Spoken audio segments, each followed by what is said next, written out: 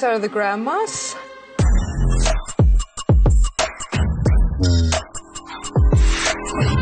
I'm here with Nanna, lead singer and guitarist of multi-award winning and platinum selling band of Monsters and Men. Her debut solo album, How to Start a Garden, is out May 5th, and she kindly invited us to her rehearsal studio or rehearsal space to uh, talk a bit about the album with us and, and, and show us the process behind it.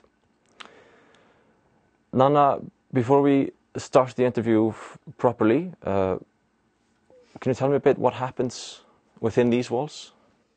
Yeah. Um, so right here, where we are right now, we are in the control room. So this is where we spend, where I spend most of my days these days. Uh, whether I'm recording with my band of Monsters and Men or, yeah, when I was recording this album that I'm about to release. Um, and then we also rehearse here. There's like a little live room, and then we drink a lot of coffee in the kitchen. Nice, like you do when you're rehearsing a lot, I, I imagine. Yeah, basically, it's like fresh pots Yeah. all the time. Uh, your debut solo album, How to Start a Garden, is out uh, May 5th. Tell me, do you feel any differently towards it uh, than if you would be just releasing another of Monsters and Men album? Yeah, it feels, it does feel pretty different. Um, you know, I've yet to kind of pinpoint what it is, but I mean, the whole process of like making an album by yourself is. It's it's very different because I'm so used to working in this group, Yeah. and when you release something, it's like five people, and we all are very excited together. And um, and I have people now that I've been working on this record with, and it's all very exciting and fun. But th- yeah, it's definitely a different feeling. I can understand that. Yeah, and and in a way, like you know, um, I mean, this is a very personal project. Yeah. You know, so in a way, it's like, it's um, yeah, I'm, I'm, it's a different kind of excitement, Mm. I guess. Yeah. Uh, where does this album come from? What sort of encouraged you to, to make this album? Um, I, you know, I had kind of had this, I kind of had this thing in the back of my head for a long time. Mm. and you know kind of knew i kind of knew that that, that i was going to release uh, an album on my own at some point but um, especially because the way that i started was i had like a little project Yeah, exactly. um, a solo project. And then when I met the guys and we started the band, Mhm. that you know, just very quickly took over.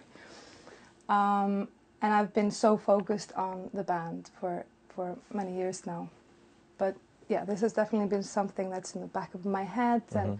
And then I guess it's the classic thing of COVID in a way where suddenly you had time to kind of, you know, just focus in Mhm. and yeah, you had time for, for the projects that you wanted to dive into. Exactly.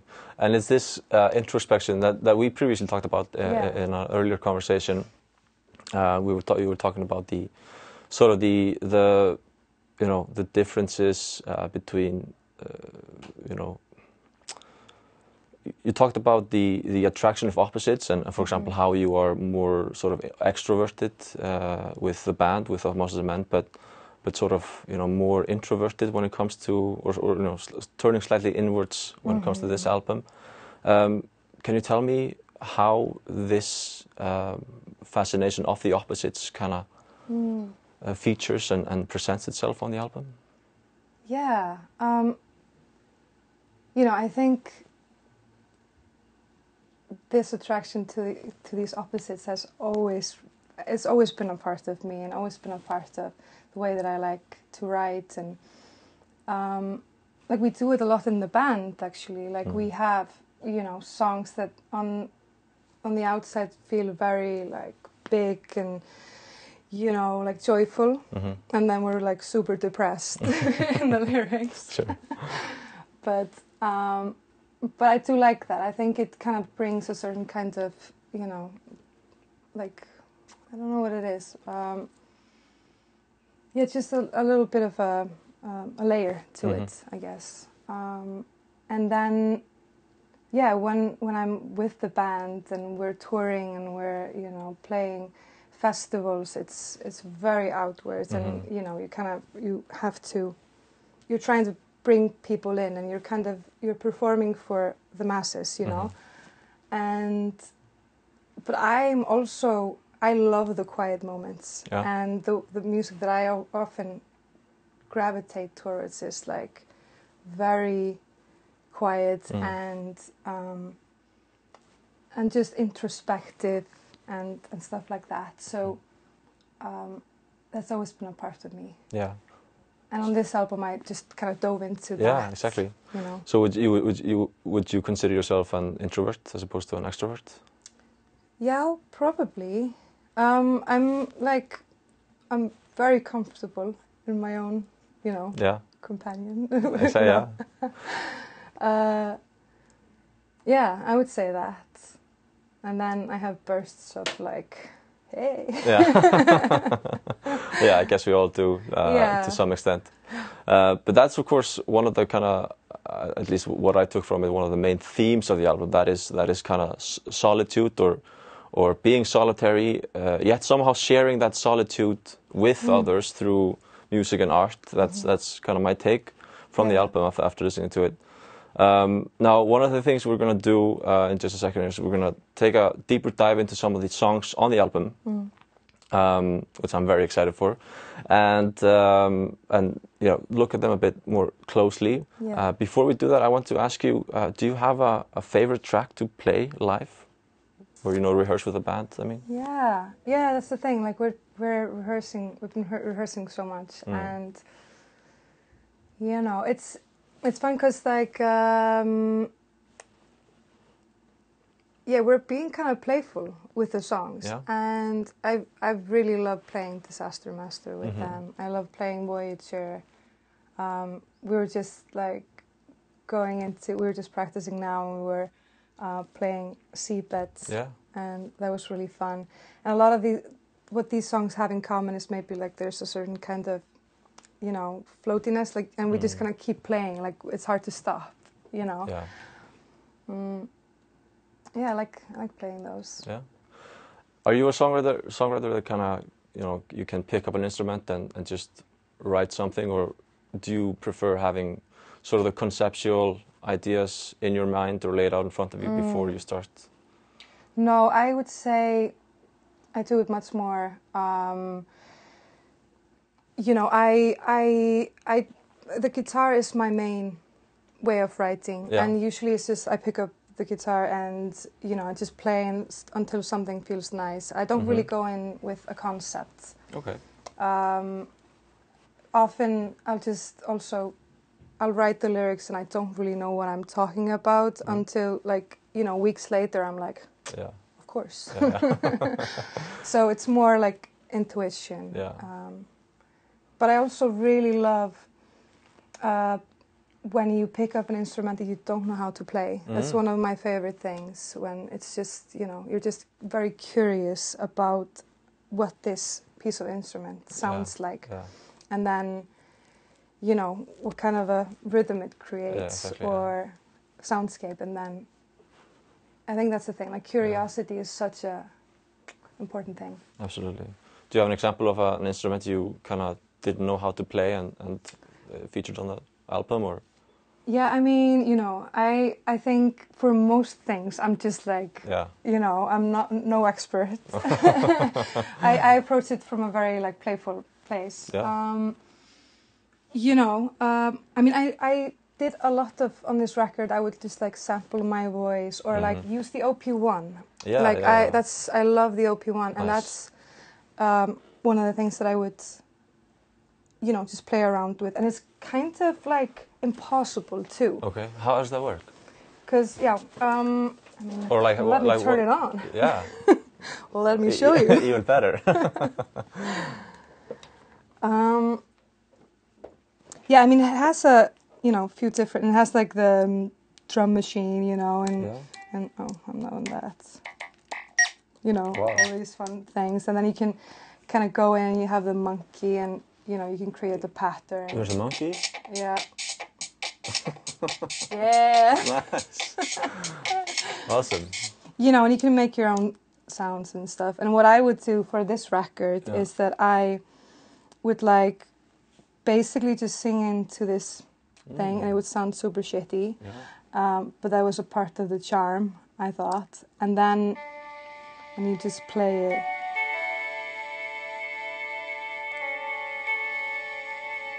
And I like the way that, you know, because it has a cutoff. Mm. So it does this thing, yeah, you know, yeah. which is really nice. Um, and yeah, you just create like all of these things to kind of you know, I use this a lot for um, for texture underneath, and then you Mm. kind of build on top of it. So it just sounds very like, you know, warm and Mm. and nice. Um, yeah. Did you sort of use this as a foundation when you started writing, or you kind of come from that, of course, that songwriter background? So, you know, I, I'd imagine, you know, you, you start with the guitar and then you kind of add Mhm. layers on top, or did you kind of approach the uh, the uh, process of, of songwriting from a different perspective this time around, or like did you experiment with with working, um, you know, starting off with the OP one, for example, or Yeah, kind of both. yeah, You know, where um, for some of these songs, like Godzilla, mm-hmm.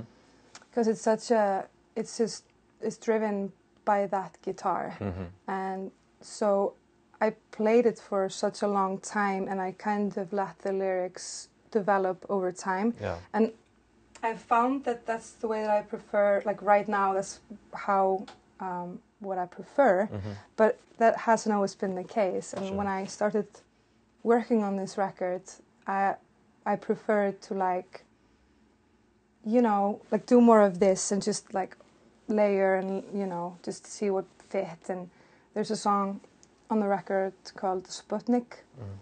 and that's very much like built around sounds and just piecing together things to make like a little rhythmic thing. Mm-hmm.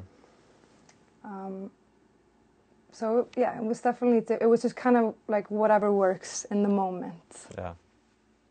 Well, let's talk about Godzilla. Mm-hmm. uh, came out on January 13th, the first single off your debut uh, album. mm-hmm. Can you tell me a bit where the song comes from? Yeah, um, yeah. Like I mentioned, it's it's a song that you know I started with a with a pick, Mm. the, the the rhythmic kind of thing. Yeah. I can. Should I play it for Yeah, you? please, please. I mean, the thing that I really liked doing on this record was just like try to find alternative tunings Okay. because I got really bored with the standard, Yeah. you know, tuning, and it's just like I I couldn't really think of anything anymore. Um, so that's the same thing of like trying to take you out of what you know Mm. and um, when you have a tuning that's that's different, then you don't really know what you're doing, Mhm. and then you start doing different things, which I, you know, helped me a lot. So it just started like this.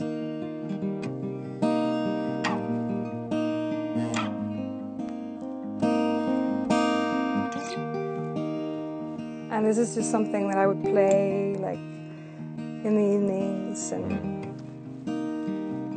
and just sounded kind of like sad but also pretty, you know, like melancholic, Yeah. which is a feeling that I gravitate towards.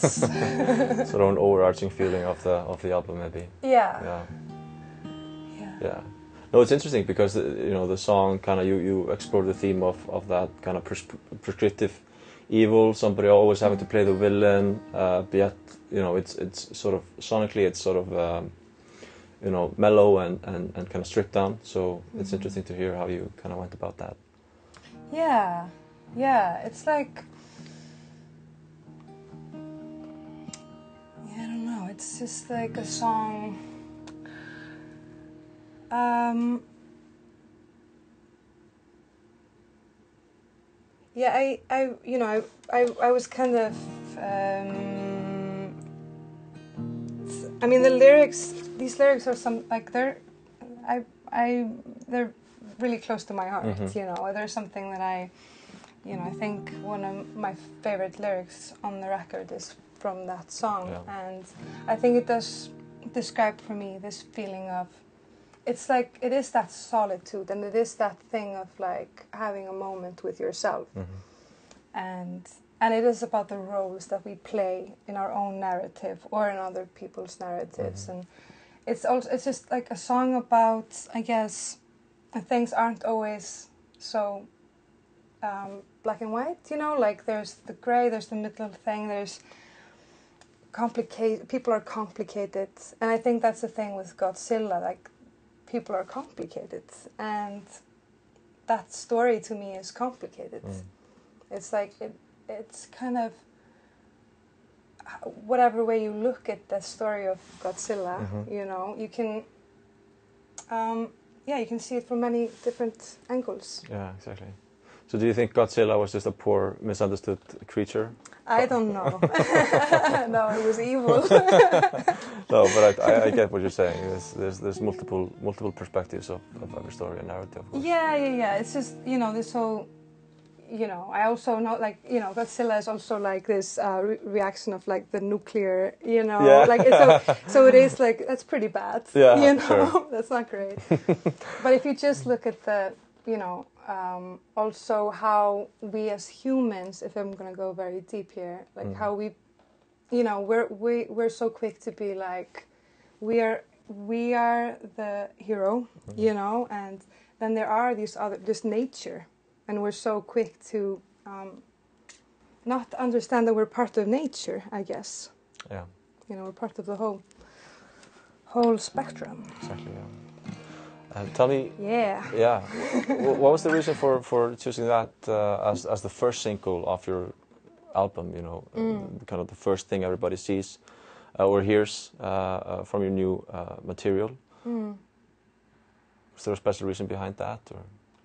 Yeah, I, I was, I really wanted it to be that one, Mm. um, and it's not the obvious choice, I think. Okay. Um, but I felt like it represented. I don't know. I like a quiet entrance, Mhm. and um, I thought it represented a lot of the, the album and the themes of the album, and. Um, and yeah, I just I, I thought it was a nice entry to the, the rest of the album. Mhm. And then uh, along comes your second single, Cry Yeah. Baby, on February 22nd. Um, can you sort of uh, indulge me what's the, you know, where that song comes from as well? hmm Um, so that song was um, I wrote it here in Iceland. I wrote it um, like a lot of the songs. I, I worked on them like in the countrysides, um, in a cabin there, and that was one of the songs that I was working on while I was there, and it was one of the first songs on the record Mm. really. Um, and but I wrote it and I just kind of put it aside for a very long time. I felt like um, there would be a time where it would make sense, Mhm. and and it did at some point because then when I was working on the record and I you know needed a different perspective, I needed to just leave Iceland for a bit and Mm. and do something else. Um, I went up to Long Pond and met up with Aaron Dessner, Mhm. um, who co-produced the track with me, and that was really fun because he we just clicked on that song. It was Mm. nice to kind of bring it, you know, take it out of the shelf and Yeah, yeah. Here, what should we Exactly. do? Yeah. he he brought so many cool things to that track. Yeah, exactly. The uh, the cover of the single hmm how she's sporting a very kind of royal red dress. Yeah. Uh, I heard a rumor Yeah. uh, that you broke into the Thingvellir National Park for that photo shoot. Is that is that true? well, it was Snæfellsnes. oh, it's Snæfellsnes. Yes. Okay, okay. So close enough. okay. Well, I need to get my sources straight. I, I guess. Yeah. Well, yeah. It's it's it sounds kind of cool that we broke in, I, but I like that story better. yeah, yeah, me too. Yeah, but of course your your cooperation with with uh, Aaron Dessner from the National and and, and Josh Kaufman Yeah. uh, did have a, a big impact. You, you told me. Yes, Definitely. Um, so uh, and we'll talk maybe a bit more about that in, in, a, in a second. But Mhm. like I also just wanted to um, uh, maybe go ahead um, over to the title track of the song, Mhm. "How to Start a Garden." Uh, when we spoke, you, you talked about how it's kind of you know it's the title track. It's it's opening the album. It, it yeah. kind of opens up and you described it to me uh, and I instantly got the picture in my head, you know, walking into a garden and, and, and suddenly it, it kind of drops and Mhm. you are transported to this kind of winter setting in a remote cabin. Mhm. And uh, you know, I was interested in hearing how you kind of went about expressing that musically. Um, Mm. Is there anything you can kind of tell us or, or, or even show us how you went about that? Yeah, um, definitely. Um, yeah, when I was when I was writing that song, um, you know, it started out with the guitar, Mm. um, and I was how is it go? Yeah.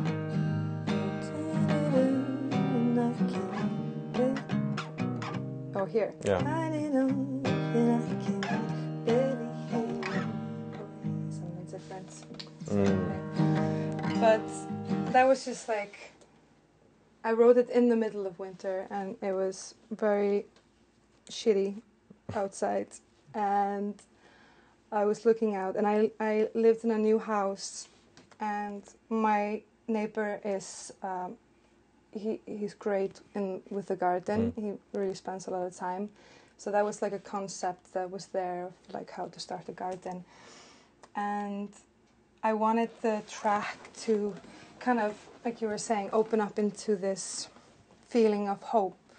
Yeah. and that's how the the album starts. And and so like during the process of making this record i was kind of all over the place. Um, and a lot of the sounds from that that song are you know like from Flateyri actually. Oh, okay. because I spent some time there. Um, just with my friends and I was working on the songs and I would record like the birds outside Yeah, and I would record them talking which I think I can like show you guys some of that.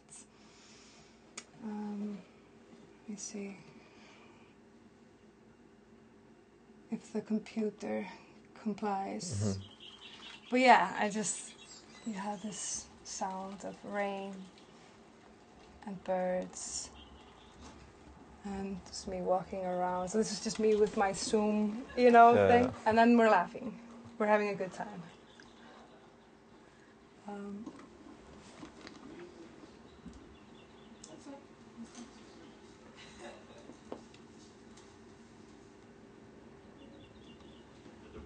yeah, my friend wants to go to the beach. Mm. I, so yeah, I, yeah, I love this idea of using the environment and, and the sounds in the environment to kind of make up a foundation. Was that a bee? No, it's Or a not fly? a bee. It's like um, I sampled. Um, I, I it's, it's Raki. Oh, okay. Yeah, I sampled him, um, and and just messed around with it. And I think there's more. There's uh, where are you? Come here. Here you are.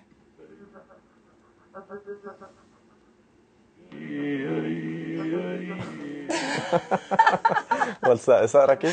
That's Raki too. Uh. Yeah. That's just I don't know. Like this track to me is. Um,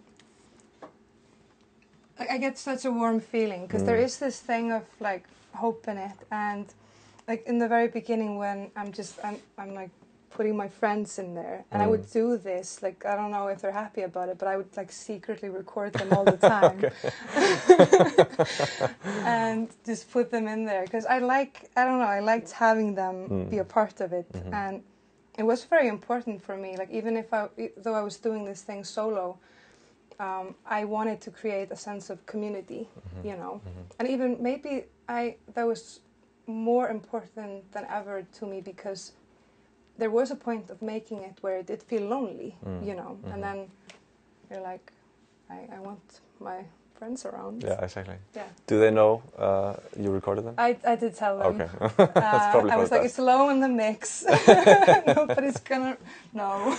Uh, you told me even your dog made an appearance in one track. Yeah, yeah, yeah. And and yeah, I, I just love how you how you use those environmental sounds to to make that foundation.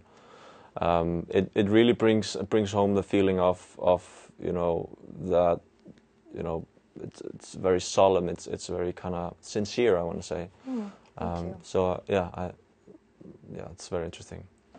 Uh, and one thing I also want to talk about is the diversity of the recording studios and recording environments you uh, produced the album in. I mean, you went up to upstate New York uh, to work with Aaron Dessner and, and Josh Kaufman uh, from the National, um, both, of course, tremendously um, talented producers and, and uh, musicians. Uh, but you also recorded the, uh, some of the songs and, and some of the music here in Iceland and in your cabin and even in Flateyri, like you mentioned. Um, what do you think those, you know, use, utilizing those different recording environments, what do you think that, how, how do you think that affects the overall soundscape and, and sound of the album? Mm. I, I, I think it does have a huge impact on the way that this album sounds, and it wasn't necessarily like my intention Mm. um, when I was starting, but but also at the same time, I'm such a believer that you can, you know, you you can make music anywhere and from with anything. Um, and I think a lot of the times when people are maybe afraid of, of you know Mm. doing something and it's the thing is like I don't have the right equipment or I don't have the studio, I don't have this and that. And um, you know, I, I don't think that that needs to be the case. Mm. Um, and yeah, I just wanted to kind of do whatever felt right at the moment. And sometimes it was recording in the cabin, or um, sometimes it was like I need to leave Iceland for a bit and I go to a new place. So it was just very much out of instinct Mhm. each time. Exactly, yeah. Now, there's one track on the album where you sing in Icelandic. Mm-hmm. It's interesting because you know, and I, I couldn't, I didn't believe it when you told me that you haven't, haven't sung, you know, you haven't sung in Icelandic. At least not released a, a song in Icelandic in, you know, the majority of your musical career. Um, what kind of drove you into doing that or implementing the Icelandic portion of it? Um, you know, I we've thought like in in uh, monsters like we we've thought about it a lot. Mm. Like you know, we want to do it, but it's never been natural for us. It just always felt kind of forced. Um, and for this track, it just it honestly just happened because Okay. it was this. You know, I wanted the ending to have kind of a similar effect to the beginning of of of the album, How to Start the Garden, and then the Seabed is the last song, and so I, you know, just kind of wanted it to be this mantra that continues and then kind of starts, uh, you know, breaking apart. Mm-hmm. Um, and the mantra was it was just very it came very quickly and easily and and I think a part of it too was that I wanted it to feel like a little ghost story or something. Yeah, yeah. Um, and you know how like here in Iceland we have you know when when there's a ghost and he the ghost is like uh, says things three times Yeah, or yeah. something and that to me felt very inspiring so this thing of like repeating yourself all the Mm. time um, yeah there was there was some kind of a connection there Yeah, it's a it's a beautiful idea. And did you record that on your own, or did you? Uh, I believe there are some some other voices to be heard there. Is that is that you know multiple voices, or is it just you and multi-track? No, it's me and then Bjarni, who Yeah. was um, uh, I was was recording with me, uh, engineering. Um, he he's singing there, and Raki is Yeah, singing there. Yeah, So I I got these guys to kind of nice. join me. Yeah. Uh, now, one of those, uh, the last things I want to ask you is, is, you know, of course, it, the album kind of covers a wide spectrum of, you know, both ideas and feelings and sounds. Do you have a favorite sound or a favorite piece of equipment you used during the, during the recording process? Oh, Like the OP1, I think that's Yeah. uh, fascinating. Uh, OP1, I- definitely. I've seen it a number of times, but I've never actually used one or, or yeah, e- even you know seen one using it. So it's so fun. Like that's probably like, I mean, this is my uh, go-to Yeah. thing, and just for also, you know, just the atmosphere and and um, creating textures and stuff. mhm. And I'm trying to find like, oh, what are you doing there? but it's also um, like it's so complicated. okay. It doesn't look like it should be complicated. No, it kind of looks like a, a toy. to it looks like a toy. Yeah. but um, I'm trying to find. I think I might have deleted it. Oh, Whoa!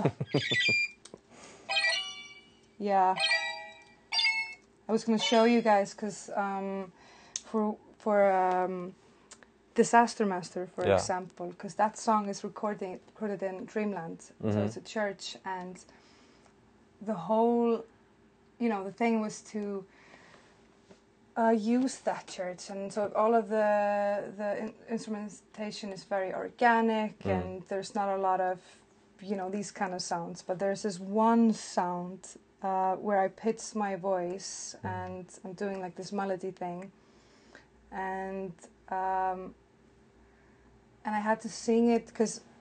You know, to time it right, I had Yeah. to sing it very slowly okay. you know and then when you play it it like went right on the beat Sure. but i think i deleted it Oh, okay. I see. i was just like That's too bad. yeah because i'm not very organized so i deleted that Yeah. um, which is not great but that's okay Um, I'll. I hope you can recover it somehow. Mm -hmm. Uh, finally, you know, you're going on your first solo tour yeah uh, in July. What are your thoughts and feelings on that?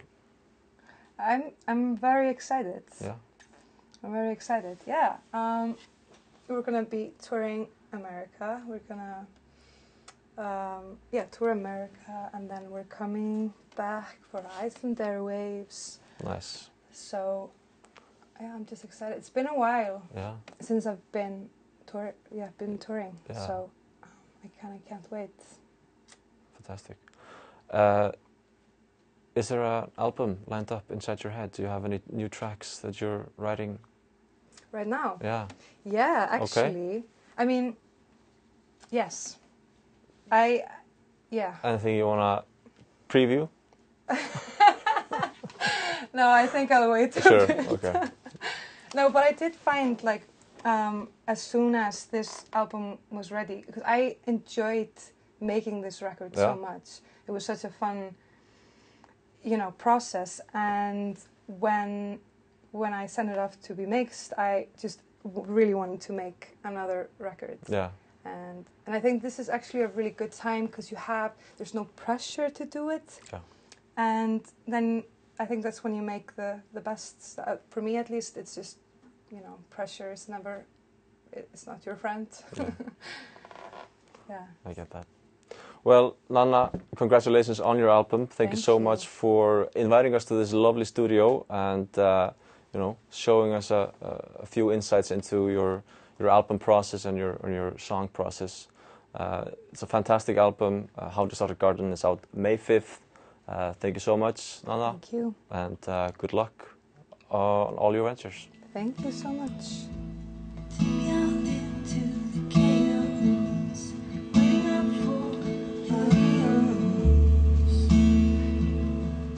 Yeah, this was us just like using the room and then. Uh,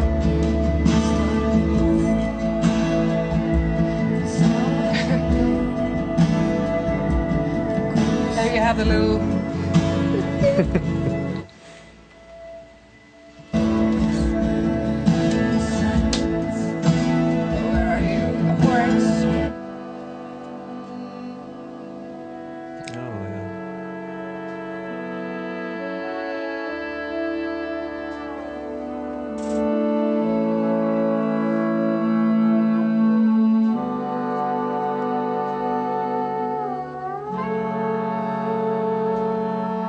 yeah, the room just sounded so amazing. So